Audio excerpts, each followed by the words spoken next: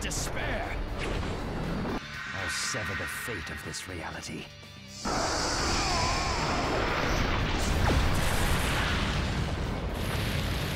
The victor has been decided.